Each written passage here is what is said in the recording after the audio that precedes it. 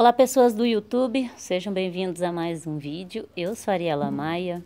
Hoje finalmente o sol deu as caras por aqui. Tinha já alguns dias chovendo sem parar e o sol não aparecia.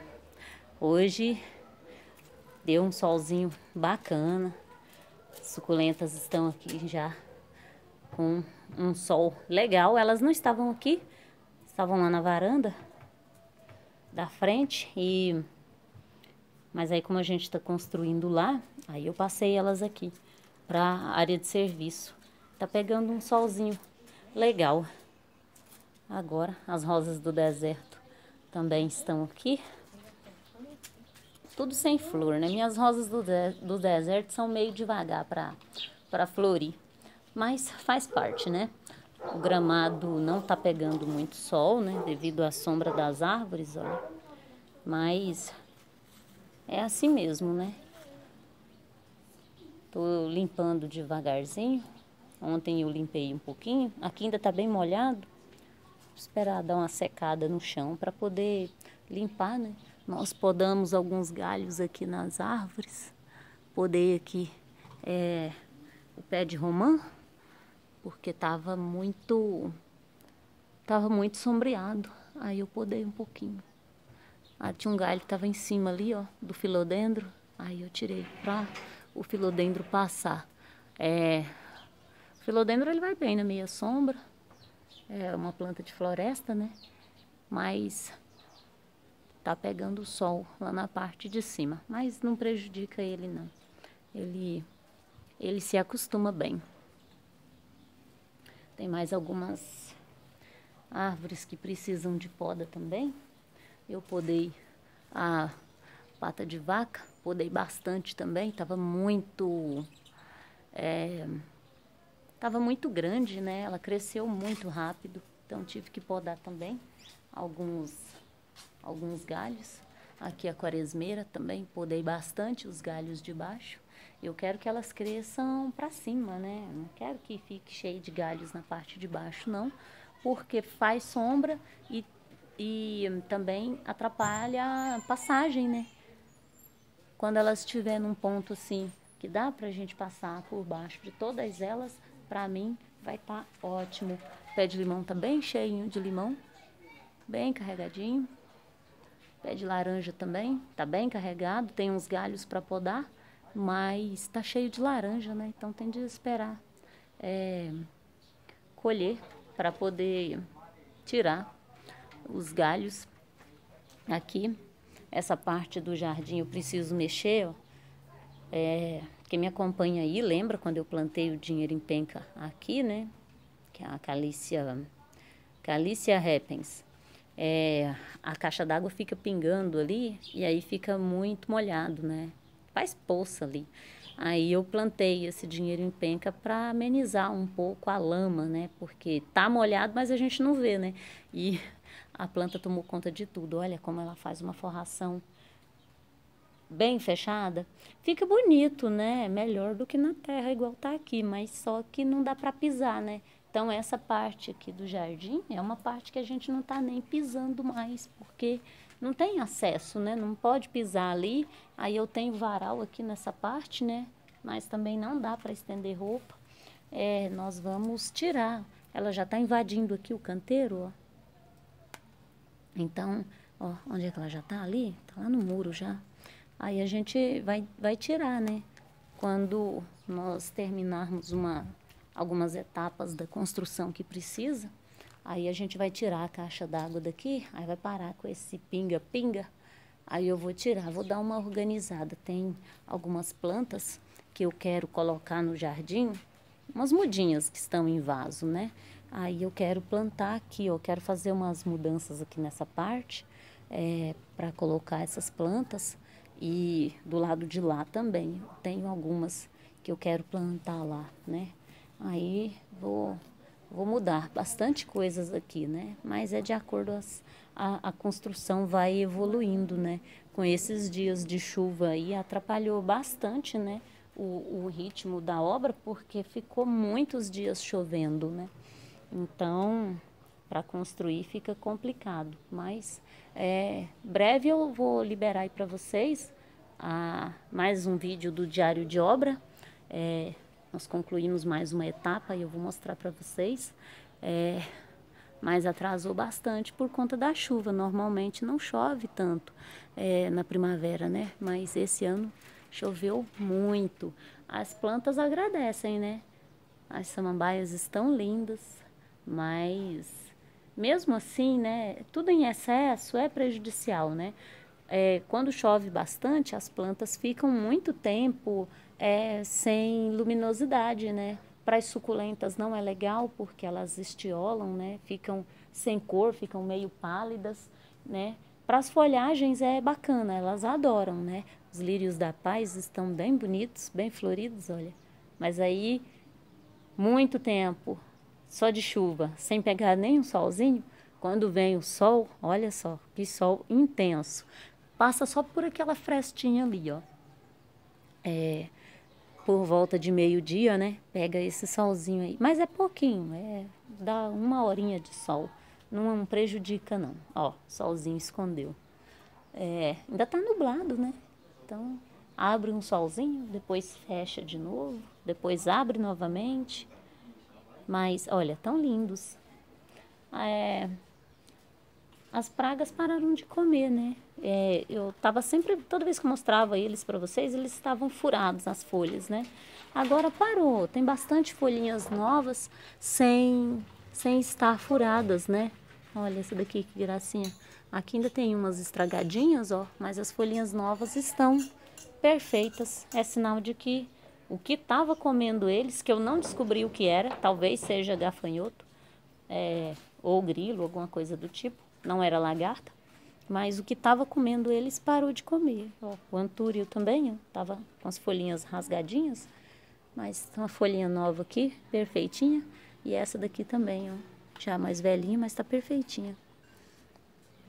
Tem muitas plantas aqui para fazer o replante ainda, né? Porque também estou enrolada com os vasos para fazer, mas devagarzinho a gente vai fazendo, né? Até porque eu não posso encher é, a parede de vasos enquanto nós não fizermos a cinta, né?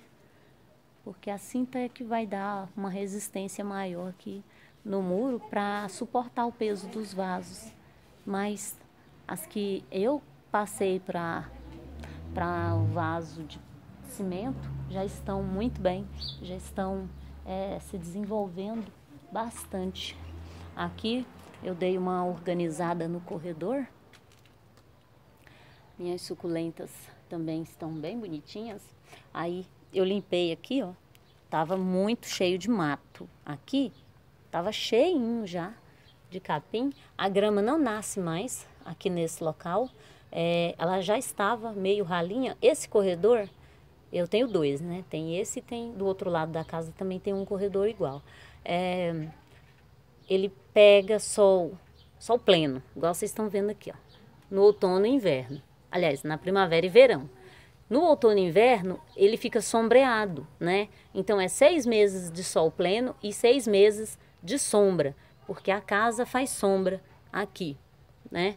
E do lado de lá, a casa do vizinho faz sombra também. Então, esse corredor é o local que eu deixei para colocar as suculentas, porque quê? Outono e inverno não pega sol, mas na primavera e verão pega sol pleno. Então, é, creio que vai dar certo para elas aqui. Olha que lindo. Esse aqui é o Cedum Adolphe, tá bem bonitão. Ó.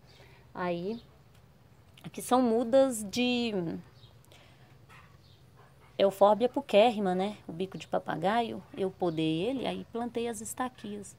É, a maioria pegou. Ontem eu fiz uma, dei uma garimpada aqui, as que não deu sinal de pegamento eu já tirei, eliminei, mas ainda tem algumas aqui que não vai pegar não. Olha lá, aquelas duas aqui, ó. Tá com brotinho, tá vendo? Mas o broto não tá desenvolvendo, então é sinal de que não enraizou.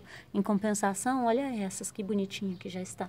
Ela é fácil, é uma planta fácil de enraizar né? Faz a mudinha por estaquia de caule bem fácil, né? Uma plantinha é, fácil de propagar e fácil também de cultivar. ela dá muita semente. Todas as vezes que ela floresce, ela dá as sementinhas, mas eu não vi, eu jogo as sementes lá no canteiro, mas eu não vi ela nascer de semente. Mas propaga por estar aqui com bastante facilidade. É, aqui também está bem bonito, que é o é, Senécio Jacobsene, olha os brotinhos. Os galinhos que estavam peladinho, cortei em vários pedaços, coloquei aqui também. É, já enraizou. Aqui são vasos que eu desocupei. É, aí coloquei aqui para poder lavar. Mas como não tem onde colocar, não vou nem lavar, porque se eu lavar vai sujar de novo. Então, vou deixar aqui. Aqui o meu rabo de macaco. Ano passado ele floriu, mas esse ano ainda não deu sinal de floração não. Mas talvez ainda esteja cedo. Ano passado ele floriu no verão, né? Então ainda falta aí um mês, um mês para pouco mais de um mês para começar o verão. Então tem que esperar mais um pouquinho. Olha, esse é um bronze. Ficou meio verde. Ele estava lindo. Ele estava lá no final do corredor, lá na ponta de lá. Só que aí o pé de é, amora cresceu bastante e caiu os galhos por cima. E aí tava sombreando, por isso que ele tá verde assim, ó.